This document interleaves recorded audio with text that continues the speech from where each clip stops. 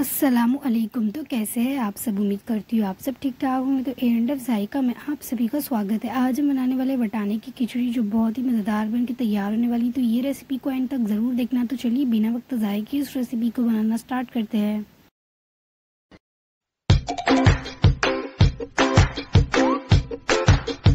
तो चलिए बिस्मिल्लाह बोल के शुरू करते हैं। यहाँ पे मैंने गैस पे कुकर रखा है। इसमें मैं ऐड कर लूँगी दो बड़े चमचे तेल के। इसको अच्छे से गर्म कर लेंगे। तो तेल हमारा गर्म हो चुका है। अब इसमें ऐड कर लेंगे हाफ़ टी स्पून ज़ीरा। ज़ीरा जब हमारा तड़कने लगे, तब इसके अंदर ऐड कर लेंगे एक प्याज है, जिसको मैंने स्लाइस में कट कर लिया है। और प्याज को जो है हम लाइट ब्राउन होने तक अच्छे से फ्राई कर लेंगे। इसके बाद इसमें कुछ गरम मसाले ऐड कर लेंगे। तो यहाँ पर मैं ऐड कर लूँगी दो से तीन लौंग, आठ से दस काली मिरी, एक जावित्री का फूल और दो दालचीनी के टुकड़े, मेरे पास छोटे थे, अगर आपके पास बड़ा हो तो आप एक ही ले लीजिए। दो हरी इलायची ऐड कर लेंगे। और दो से तीन तेज पत्ते ऐड कर लेंगे। और बस ये सभी मसालों को जो अच्छे से मिक्स कर लेंगे प्याज के साथ। और प्याज को जो हम लाइट ब्राउन होने तक फ्राई कर लेंगे। इसके साथ जो सारे मसाले भी अच्छे से फ्राई हो जाएँगे। तो यहाँ पे हमारा प्याज जो है वो लाइट ब्राउन होना शुरू हुआ है। अब हम इसके अंदर ऐड कर लेंगे वन टीस्पून अदरक लहसुन का पेस्ट। हाफ़ टी स्पून हरी मिर्ची लहसुन का पेस्ट, ये बहुत तीखा वाला है तो मैं कम डाल रही हूँ। आप अपने टेस्ट के अकॉर्डिंग इसको जो है कम ज़्यादा कर सकते हैं। इसके बाद ये सभी को जो अच्छे से इसके साथ मिक्स कर लेंगे। और जो इसको अच्छे से भून लेंगे, हमें जो इसको एक मिनट तक अच्छे से भून लेना है।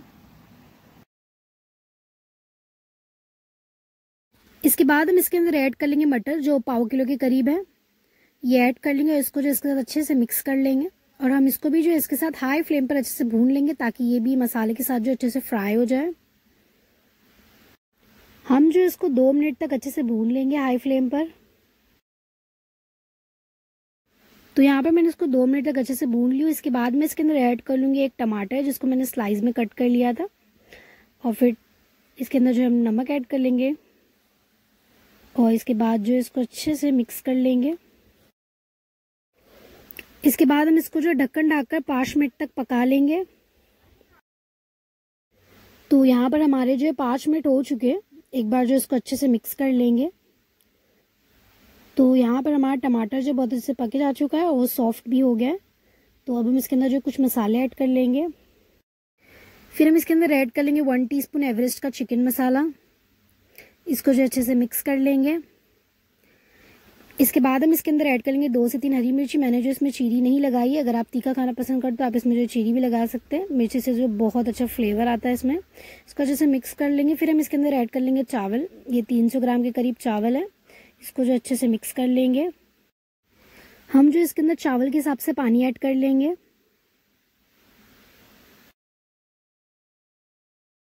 फिर इसको जो अच्छे से एक बार मिक्स कर लेंगे। इसके बाद मैं इसके अंदर ऐड कर लूँगी एक आलू जिसको मैंने मोटे मोटे स्लाइस में कट कर लिया है। आप चाहे तो डालिए वरना स्किप भी कर सकते हैं। फिर हम इसके अंदर ऐड कर लेंगे टेस्ट के अकॉर्डिंग नमक। हाफ़ टी स्पून गरम मसाला पाउडर थोड़ी सी कोतमीर ऐड कर लेंगे। और उसके बाद ये सभी चीज़ों को जो अच्छे से मिक्स कर लेंगे। इसके बाद हम जो कुकर का लिड लगा देंगे और इसको जो दो सीटी आने तक पकाएँगे। आप अपने कुकर के हिसाब से जो चावल गलने तक पकाइए। इसके बाद हम जो है चटनी बना लेंगे। तो यहाँ पर मैं ले रही हूँ एक प्याज है, जिसको मैंने स्लाइस में कट कर लिया था। एक टमाटर है, जिसको मैंने चॉप कर लिया है, वो ऐड कर लेंगे। साथ ही थोड़ी सी कोतमीर फिर ऐड कर लेंगे टेस्ट के अकॉर्डिंग नमक।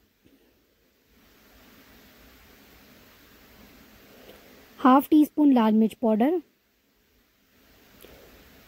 आधे नींबू का रस। हम जो इसके अंदर थोड़ा सा चाट मसाला भी ऐड कर लेंगे। इसके बाद हम जो इसको हाथों की मदद से अच्छे से मिक्स कर लेंगे और टमाटर को जो हम अच्छे से मैश कर लेंगे।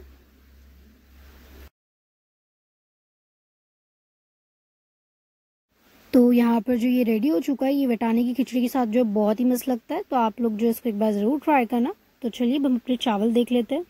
तो यहाँ पर जो इसमें गैस की खिचड़ी आ चुकी है, अब हम इस गैस का फ्लेम जो है बंद कर देंगे।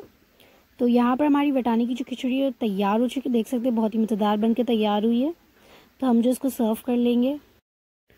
तो जी, यहाँ पर हमारा तैयार है वटाने की खिचड़ी। तो देख सकते हैं, बहुत ही मज़ेदार बन के तैयार हुई है। तो इनशाला से आप लोग भी रेसिपी को एक बार ज़रूर ट्राई करना मुझे फीडबैक देना कि आपको रेसिपी कैसी लगती है। आई होप आप लोग को वीडियो पसंद आई होगी। अगर पसंद आए तो हमारे चैनल को लाइक करो, सब्सक्राइब करो और शेयर करो। तो मिलते हैं नेक्स्ट वीडियो में तब तक के लिए अल्लाह हाफिज़।